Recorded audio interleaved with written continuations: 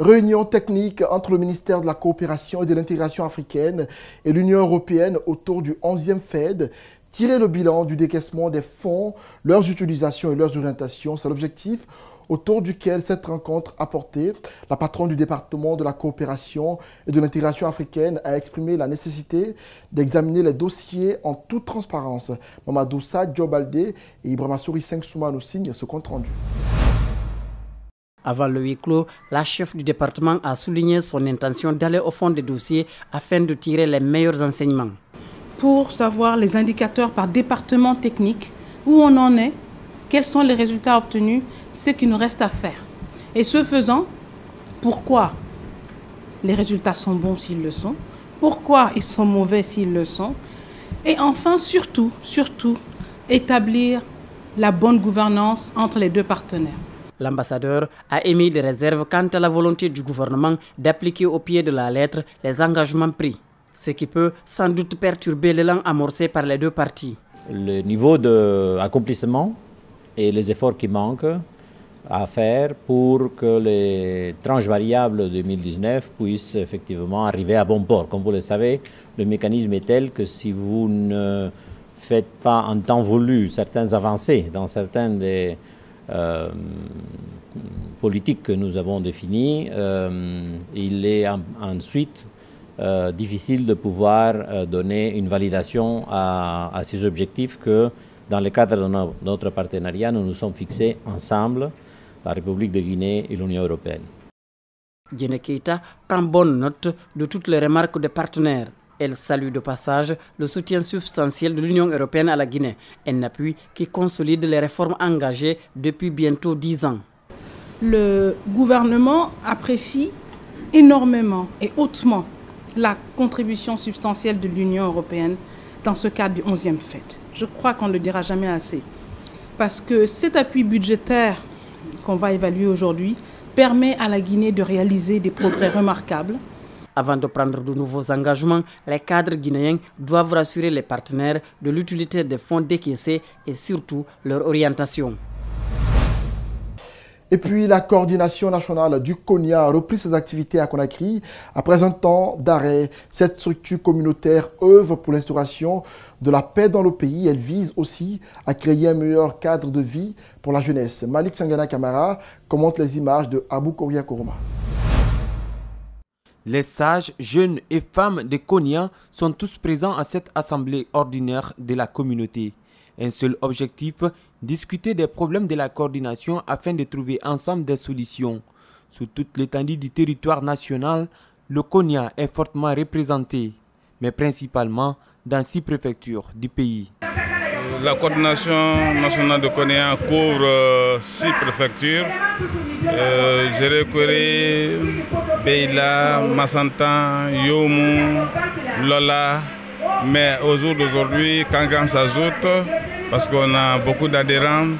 Euh, Kerawani, ensuite euh. Mais cette coordination est en, majorité Kwanyanke. Les jeunes déterminés auprès des sages se battent tant bien que mal pour se créer des opportunités dans le domaine socio-professionnel. Konya aujourd'hui est une communauté extrêmement importante, importante pour notre pays. Donc cette rencontre est une opportunité pour nous d'échanger et de parler des problèmes réels de la communauté, côté surtout social, économique, culturel et tout ce qui rime pour euh, le développement réel de notre, de notre communauté. La mission qui nous est assignée, c'est d'essayer de donner, de créer l'harmonie entre nous, créer la sincérité entre nous, comme Konya a toujours été sincère dans le comportement. La loyauté a été le symbole de cette grande communauté. Les messages de paix et d'harmonie pour le bonheur de la Guinée ont ponctué cette rencontre de la communauté Konya qui compte perpétuer ses œuvres dans le temps. Je vous l'annonçais dans les titres et de deux pour le groupe Adafo Média et pour la presse guinéenne à Dakar au Sénégal. Après la mine Girassi l'an dernier, Abakar Diallo a été honoré le week-end dernier dans la capitale sénégalaise. Nominé parmi les 50 personnalités les plus influentes du continent en 2019, ce journaliste, chef d'entreprise, a reçu un prix qu'il a décerné à la Guinée. Son profil, ses compétences et l'impact de ses activités sur la communauté ont été les critères de choix pour cet événement. Bassaïkou et Ibrahima Awal Kamara étaient nos envoyés spéciaux à Dakar. Suivez. Aboubakar Diallo du groupe Adafo Média et entrepreneur également. On ne peut euh, être euh, que, fier.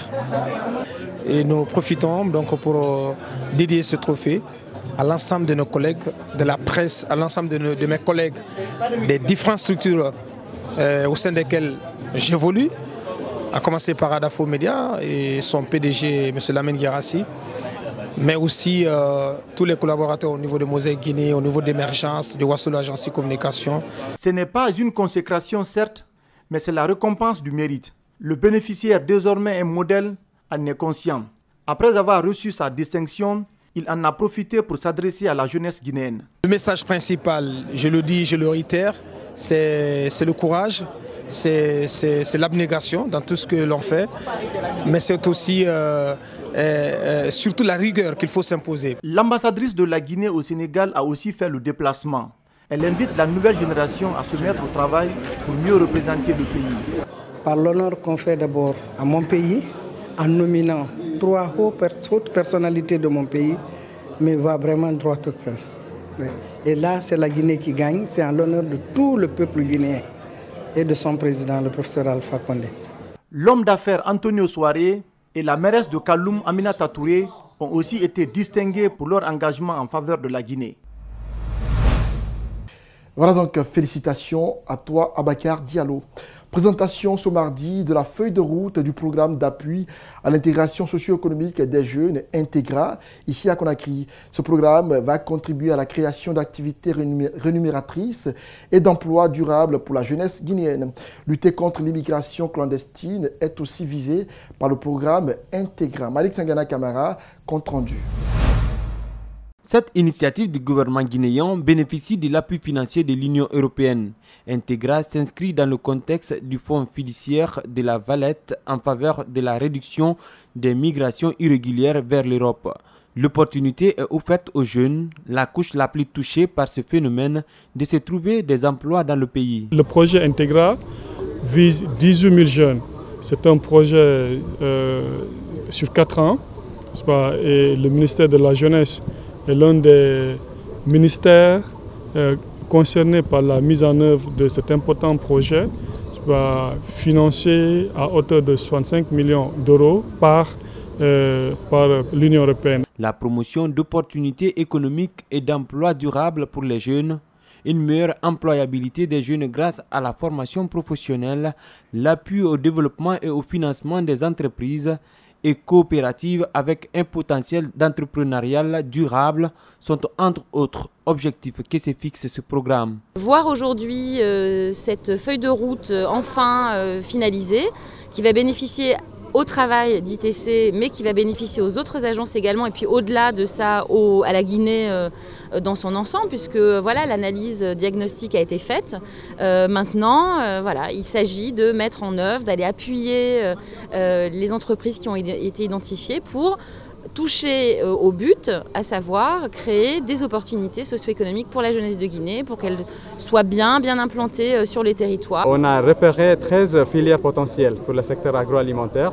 Euh, avec lesquels, en fait, dans lesquels nous allons travailler. Et on a repéré euh, à peu près 40 euh, entreprises dans les 24 régions et 4 communes de Conakry pour recevoir l'appui du programme Integra ITC. Ce programme met un accent particulier sur la possibilité de transformation locale des produits agricoles tout en valorisant la qualité, ce pour répondre aux exigences des marchés internationaux.